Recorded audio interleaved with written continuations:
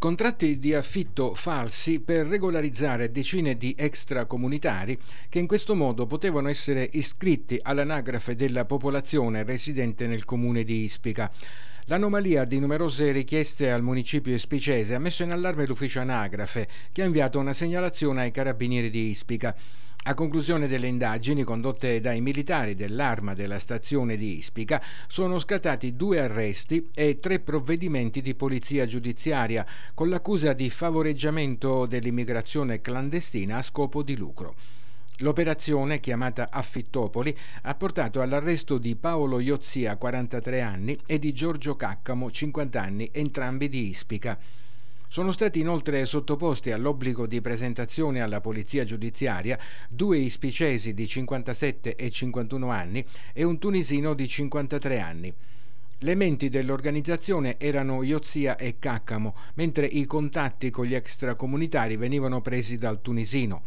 I carabinieri ritengono che tra il dicembre 2014 e l'agosto del 2017 siano stati stipulati 30 contratti fittizi e altrettanti stranieri regolarizzati che, grazie ai contratti, ottenevano la residenza a Ispica e presentavano domanda alla questura per il rinnovo del permesso di soggiorno.